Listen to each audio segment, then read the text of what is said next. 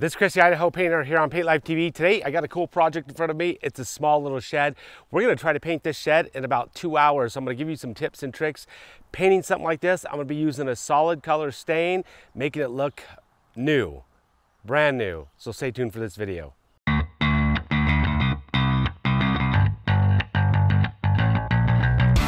All right, so I'm gonna get ready to start. So I'm gonna be using an airless sprayer. You don't have to do an airless sprayer. This is just gonna make the process a lot faster. It's gonna get the paint or paint or stain on a lot quicker so you can back brush it. I'm gonna be doing three colors. I got a little bit of prepping to do. I've already power washed the thing the day before. It's all dry, ready to go, but I got some masking of the doorknob and some hinges to do and a little vent. And then we're gonna be again spraying and back brushing. This is a rough, um, rough wood, like a T111 sided uh, structure. So it's very rough. So it's extremely important if you're spraying it to back brush it or back roll it. And that's gonna penetrate a lot better. It's gonna cause a lot better penetration and adhesion with your stain. Now a solid color stain versus a semi-transparent stain, a solid color stain is gonna last significantly longer before it needs to be restained. This thing gets a lot of snow built up on it. This is up in the mountains and I don't wanna have to have, come back and stain this thing every two to three years.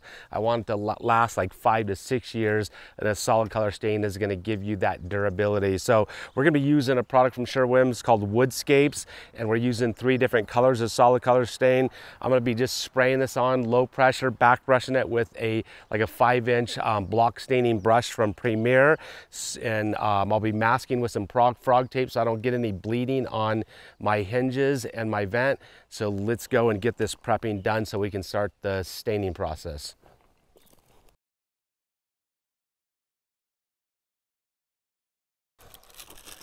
Now there's a few items on this this shed here that we don't want to get stain on and so I'm going to mask off. I got blue frog tape on this thing. I'm going to shield some things and then I'm going to mask some other things. I've got a um, little doorknob right here. We want to mask this thing off right here and then we're going to uh, mask off these hinges so we don't get any overspray on these hinges or any stain on the hinges so this frog tape, this is gonna keep any bleeding from happening. It's got a polymer that swells up that uh, stops paint from bleeding underneath it. So I'm gonna wrap some tape around this.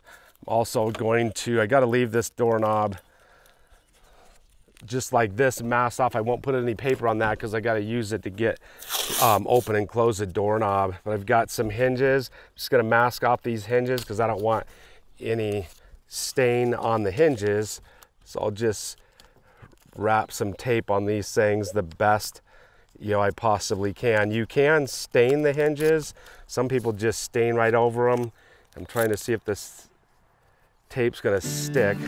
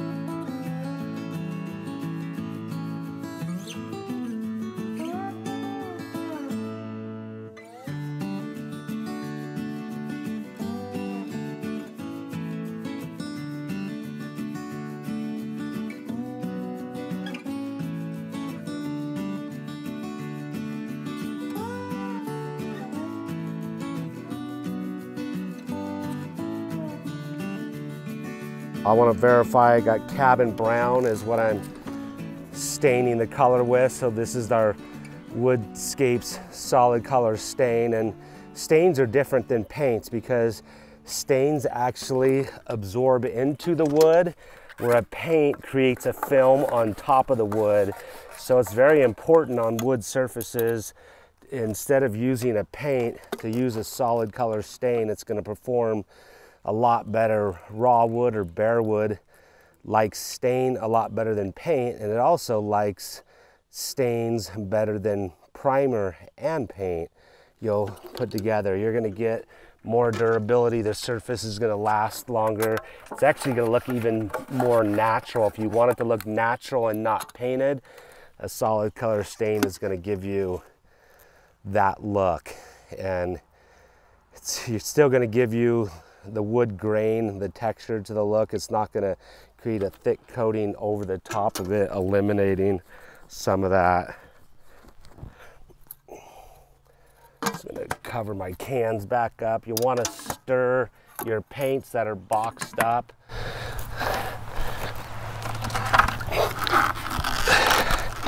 If you don't have a stir stick available, you could just take your prime or intake tube, just stir it with your intake tube.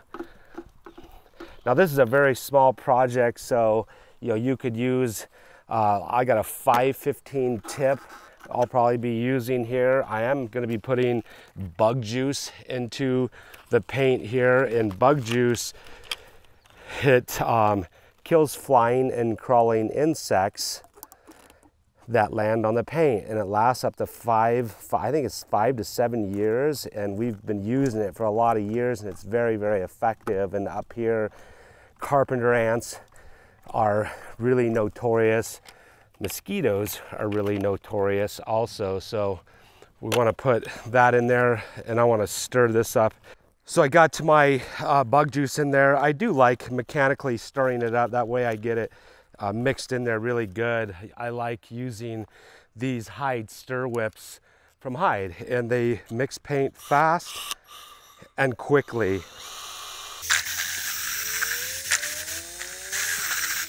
So using a stir whip like this, that just ensures it's, the bug juice is just evenly distributed throughout the stain. And it also ensures that your box paints are mixed really well. Now I can quickly clean it, just put it in clean water, stir it, and it's clean again. So I did forget one key tool. I'm working up in the mountains and it never fails at another job site, I left my cardboard shield holder. So I am going to improvise and make a cardboard shield holder. Sometimes you gotta just do what you gotta do. So you're gonna see that um, here in a minute. So now I'm gonna be spraying uh, this stain on here. I don't need to have very much pressure. I don't want a whole lot of overspray. Uh, I'm not trying to create like a fine finish because I'm gonna be back brushing and back rolling the whole entire thing. Um, so I'm going to be running my pressure. I'm going to see how it runs at around 1200 PSI at the gun or at the pump and we'll see how that performs. I just got a 515 high production Titan tip on here. I don't need anything special. Um, an, an HEA tip would be um, you know, ideal for controlling overspray. I'm gonna see how this tip here works first. So that looks pretty good. I can have a little bit more pressure. I want to make sure I have enough product coming out that I can back brush.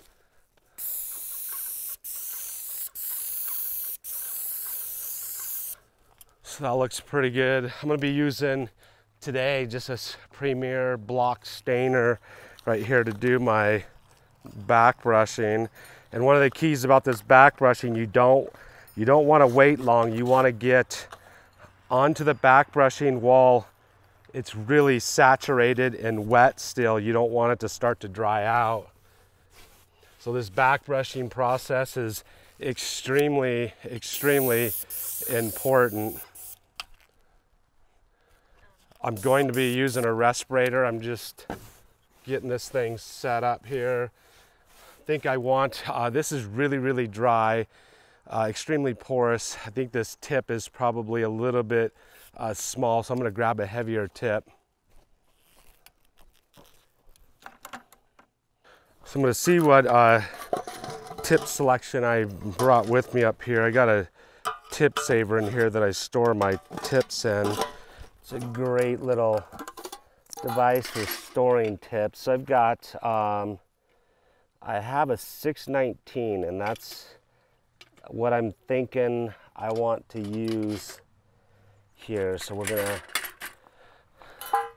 get our 619, put that on there because I just want, I'm gonna turn the pressure down lower, but put out more product. And then I also like to have a bucket of stain to keep my brush in that I can use um, if we're, where I have areas that don't um, need to be sprayed or you don't want to spray. So you could just hook this thing on to your bucket. So just wait for it to stop dripping, just snap it back quickly, wipe off the edge.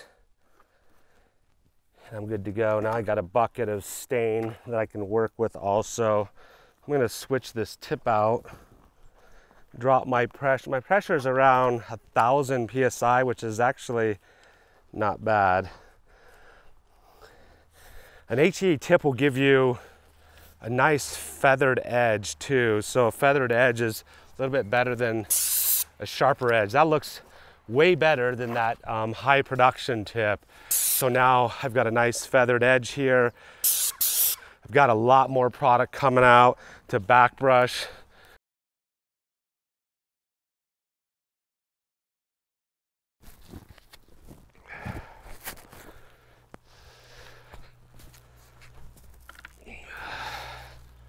Gonna give this a test again here.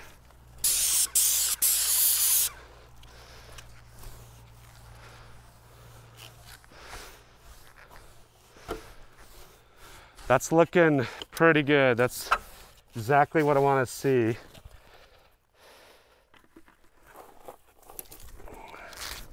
That's looking pretty nice. Now I want to make sure I'm spraying. I've got a back brush in between all these laps and then back brush the face too. And I've got um, one more thing because what I would typically do is shield uh, this top and bottom with a cardboard shield. So I forgot that one of the most important tools that every painter should have when it comes to spraying, and that is a cardboard shield holder. So we're going to make one. Um, sometimes you just got to do what you got to do, but this will make the spraying process a lot easier. So I'm going to cut off seal and make it right about here. Luckily, this is a small shed, so I don't need very much. I got a small extension pole with me.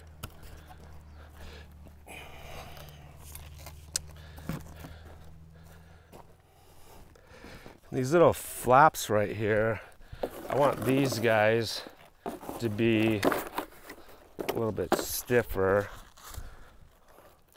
I don't want them to bend. So let's see if we can put some tape on there, keep them from bending. There, stiff. That worked. This is what you call a mini cardboard shield holder, but I think this is gonna work. Now, I think I'll just tape it onto my extension pole. And being that I got this um, frog tape, high production tape, it sticks really well. I think it's gonna hold this thing on there pretty good.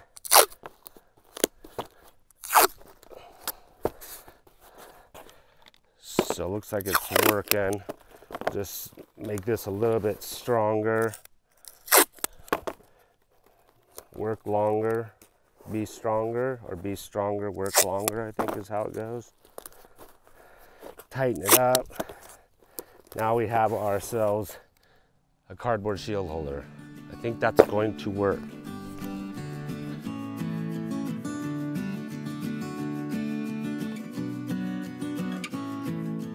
So you want to use your good quality stain brush versus a paint brush. A stain brush, you know, because the stains are a lot thinner and a regular paint brush, the stain will have a tendency to drip off of it a lot, lot easier. You could use a four inch roller also on this, but being such a small project, I don't need to dirty up, you know, multiple tools because then I just got to clean up those multiple tools. And I really like um, back brushing versus back rolling. I like the look of, you know, the brushed look versus the rolled look.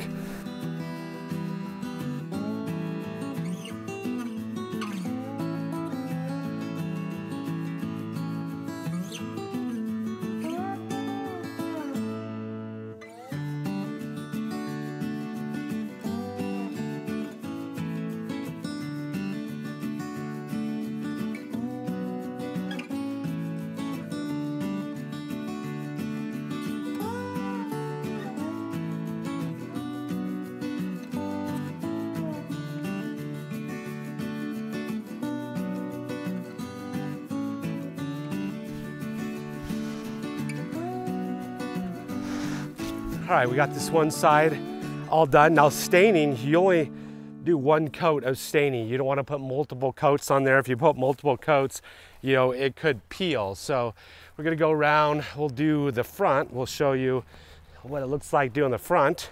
Now this bottom down here eventually, if you don't shield it, it's pretty simple. You can see there's overspray, you know, down there. I can just take a rake when I'm all said and done, and I can just, you know, rake this along here and you won't even tell there was overspray, you know, down there. So, you know, being a shed, not a house up against somebody's house, that's gonna be totally fine, you know, right there with those rocks and stuff that looks totally fine. These RZ respirators Best respirators I've ever used. Nice and soft. No, no sweaty silicone.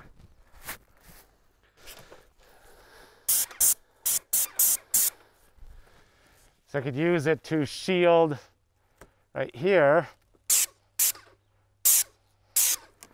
So now I don't get overspray up on my,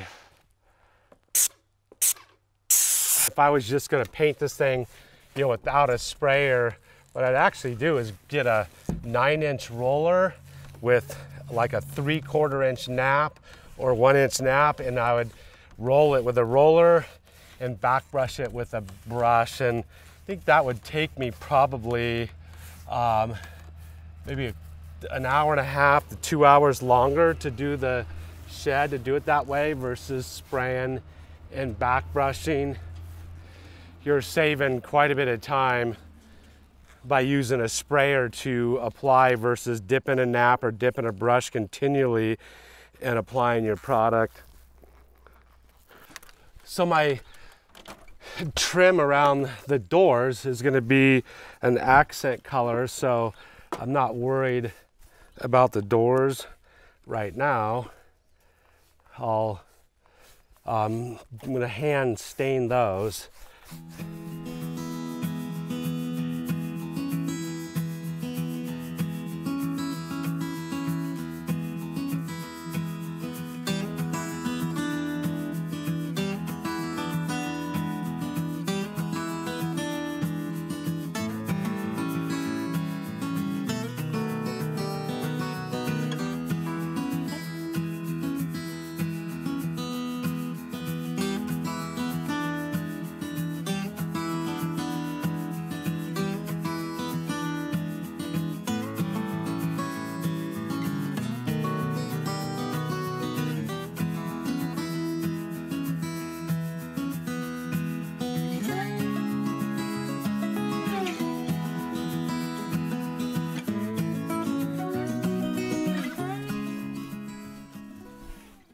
Show you how I can you know quickly get rid of this overspray that I got on here. So don't leave it on here for days. If you just take a miracle wipe,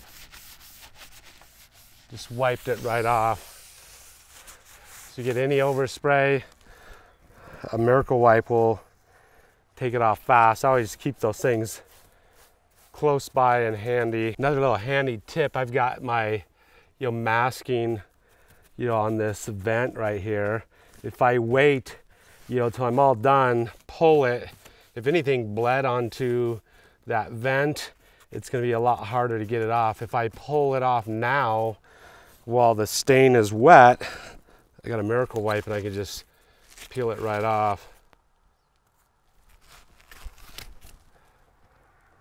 Or wipe it right off.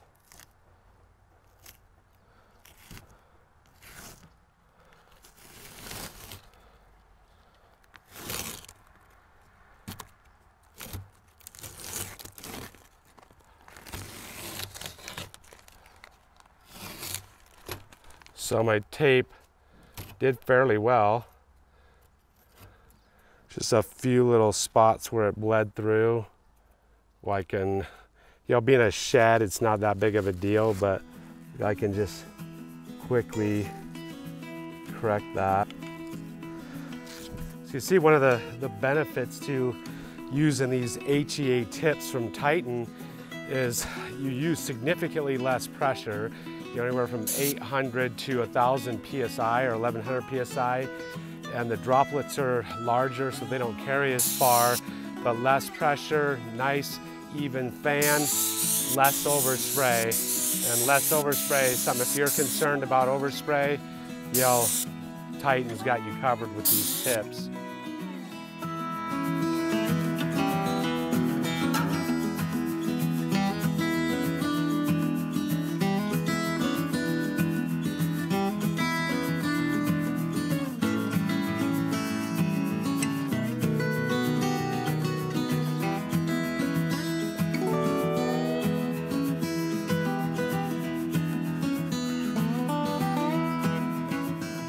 Gonna start off by doing my fascia, the green color, Isle of Pine. So customer had some leftover from the shed, so I'm gonna shake this up. There's not much to do. The green just a little bit underneath the front fascia and then the sides. And then the door trim is gonna be a little bit darker than the existing color, which now, which is cabin brown.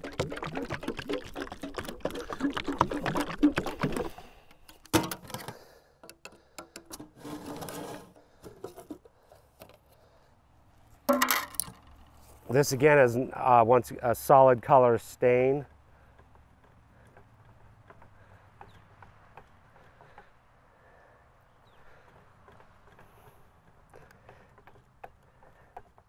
But use a different type of paintbrush too, a little bit stiffer and one I can control a little bit more for doing cut-ins because I got to cut in underneath that metal. So I want a little bit more control.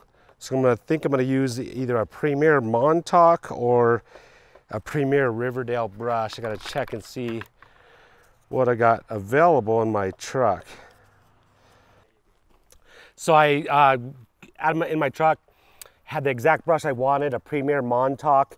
So this is a good interior exterior brush that will work really well for this stain and it's all paints and stains brush. DuPont bristles, uh, Tynex and Orel and it'll be stiff enough for this stain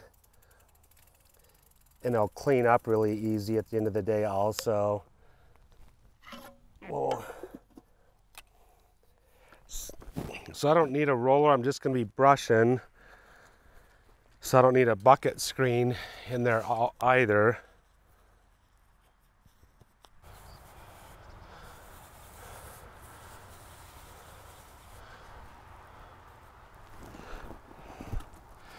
Because this is so rough, it's not gonna be very easy getting it down in the grain.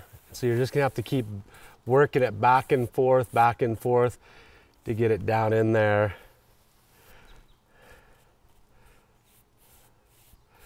You don't want to have too much because you don't want to drip it everywhere. That's getting pretty good right there. If you can't tell from the video, it's this is a really rough cedar, rough sawn cedar, very similar to all the fencing, people's fences in where I live in Boise. This will make the fascia look a lot thicker right here and just make it look a lot nicer.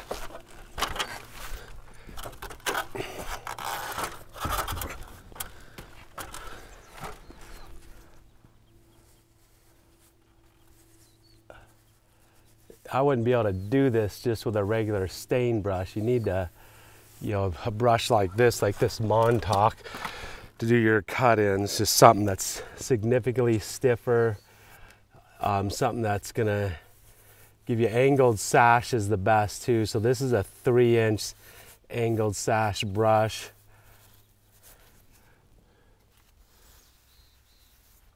I'm just working it up underneath there because if you stand back, you'll be able to see underneath that fascia.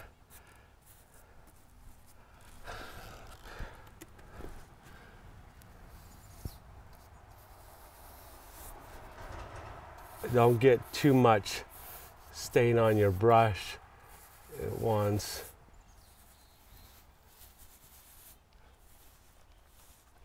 Stain is a lot different than paint. It's significantly thinner.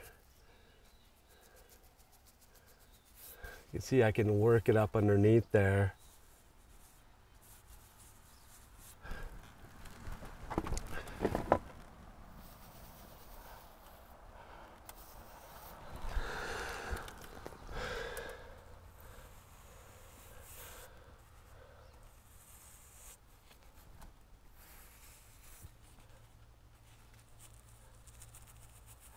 Don't panic if you get a little on your you know metal but also don't leave it there. You want it to look your final project to look you know like a professional did it. So you just you could wipe it off right away or come back with a miracle wipe when you're done you know in an hour or so and wipe it off. But you know don't ever leave it on there. Don't just take your time, don't get paint on the metal. Let's make this thing look amazing when we're done.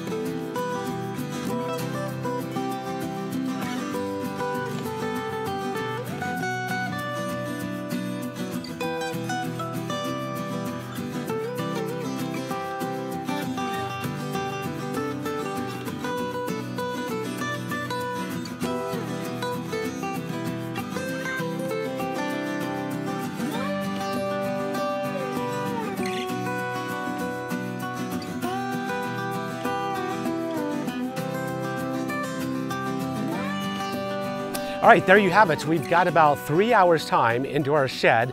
We've done three colors on it now. It looks simply amazing. If I wasn't trying to teach and educate, and shoot a video doing this thing, probably could have did it in around two hours. If you got any questions or comments about what I did on this shed, what I used, or the tools I used, just leave it down in the comment section below. The tools and accessories I use, I typically put those down in the video description so you can get more information about those items used in the video here. Uh, once again, if you um, haven't subscribed to our channel, subscribe to our channel, hit the notification bell. That way you get notified every time we come out with a video.